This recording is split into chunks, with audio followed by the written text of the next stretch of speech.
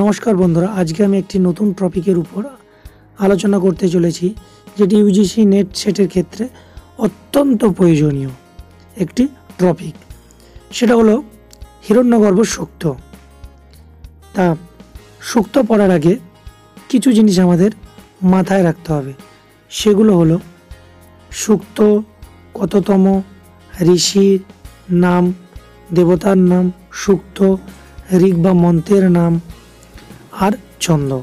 এগুলো না জানলে সমস্ত মন্ত্রপাঠ কিন্তু বৃথা। তাই হিরণ্যগর্ভ সুক্ত দশের একশো একুশতম সুক্ত।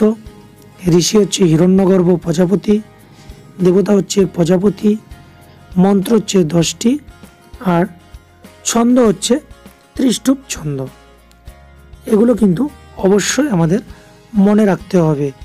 তাহলে আর বেশি দেরি না করে শুরু করা যাক।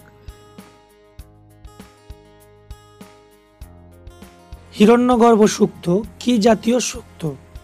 উত্তর, এটি একটি দার্শনিক সুক্ত। হিরণ্যগর্ভ সুক্তের সঙ্গে ঋগ্বেদের কোন সুক্তের মিল পাওয়া যায়?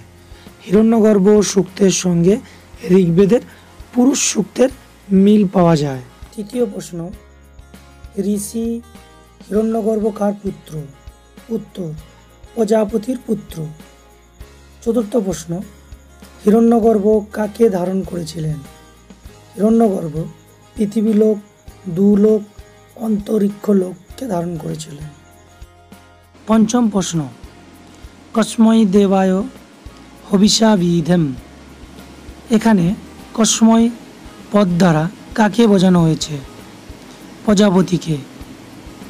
ষষ্ঠ কোশ্চেন, যেন সস্তম্ভিতং ইয়ানো না কহ।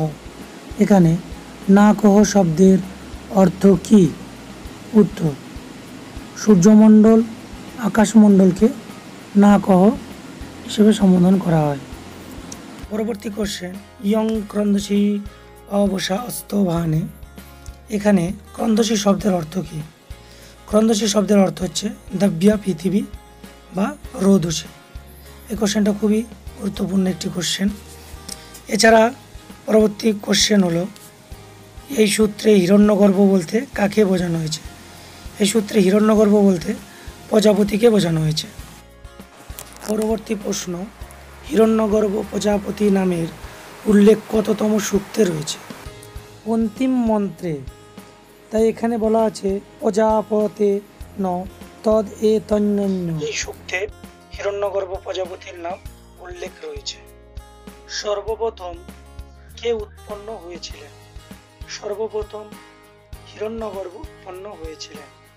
তাই সূত্রে বলা আছে হিরণ্যগর্ভ সমবত তাগ্রে আর রাজকুমার ইউটিউব চ্যানেলটিকে সাবস্ক্রাইব করুন এবং পাশে থাকা বেল আইকনটি প্রেস করুন।